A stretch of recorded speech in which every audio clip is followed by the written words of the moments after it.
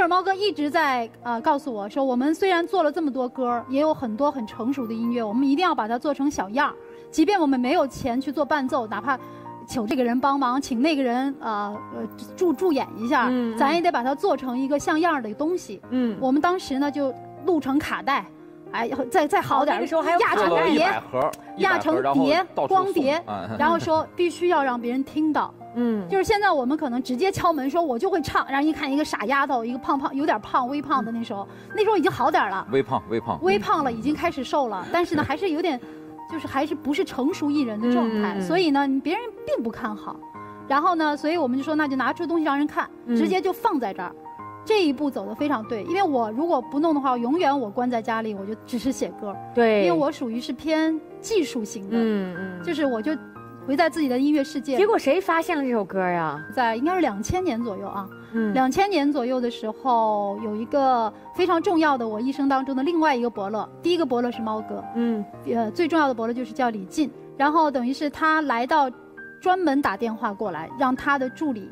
啊，然后给我们打电话过来，然后就是我们，我接电话都不敢相信，知道吗？嗯不可能吧，骗我的吧？嗯特别特别高兴，然后我们就觉得这个是一个大事儿来了，说要见我们，啊，然后呢，我记得当天印象特别深，就是我接到这个电话以后，我就觉得好，我终于有出人头地了。第二天就在银行开了个账户，就我准备要收钱了，就 那种感觉。其实我我现在在想啊，大家可能看到是王蓉后面的，呃，这种成功，之前有六七年的时间，基本没收入啊。我想知道，那你那个时候花什么钱？是爸妈的还是老猫的？呃，爸妈的不多，很少，那个时候好像也有过。那是在最开始刚毕业的时候，可能会有一段时间。嗯嗯还需要一点点接济，而且我还跟我妈说，我妈，我给你写借条，嗯我让我专门还认真的写完借条，我妈妈都留着，但她肯定不会不会问我要，你知道吗？就是那种感觉。账记账给，你看着啊，你看你以前写的这些借条，对。但是呃，那猫哥赚的钱会呃，就是支援支援你吗？有。啊，也有啊。呃，我赚的钱有一半也是他赚的钱。嗯那个时候呢，我带着他去做一些演演出啊、出表演啊会不会。在酒吧里唱啊？对对对对对，嗯唱过一两次，一两次吧，一两个月。给那个其他的一些艺人写歌，对嗯。然后呢，他这个人啊，就是干副业的能力比较强。嗯。啊，他当时呢，那个 就是纯粹靠音乐收入是很难的，因为当时你没有知名度，没有名气嘛。嗯。然后呢，他呢干个什么事儿啊？他去给人家这个卖家具，嗯。当时呢挣了点儿小钱，然后一撑撑了一两 哎，，那时候最早的团购，我的天哪！然后因为那时候就是上网嘛，然后我就是觉得家里缺了个家具，当时看了一个品牌的某一个家具特好，但特别贵，对我来说简直是天价，你知道吗？大牌，然后好，我说那我得看看有没有人跟我一样啊，研究研究。哦，他也想买，他也想买，然后我们就在一个群里边，当时还是叫啊，哎论坛一样的东西，我就开始发帖子。我说先没谈呢还，我说你们想买吗？我跟你们咱们到了多少多少钱，咱们一块儿去谈，肯定能谈一个折。就开始哎呀搜搜，没想到一下来了好多人，我自己也没想到。那个品牌啊，大家确实很喜欢，但是就是贵。对嗯对，然后呢，我就带着这个这么多的资料，天天打电话哦。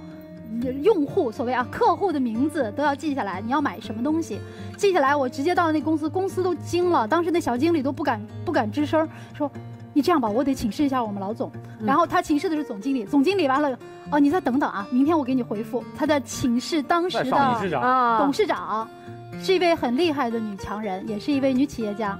我们现在还是保持一定的关系，还挺好的关系。然后她呢，然后就真的第二次、第二天还是第三天就约见，白送一套家具吧。那对。呃，这个这个就是说，最后呢，当时达到的最高金额是不到三百万，哦，就是大家加起来总额，那个时候的三百对。万，那时候三百他忽悠了快一百个人去买这个，他们自己看了为什么惊了？他们一个月呢卖呢几个店加起来呢，大概这个他一看这个人一个人带来了一个月的这个单，嗯整个就给我打了一个很好的折扣，所以老毛啊绝对市场上不可能买到的折扣。咱俩真的是运气好。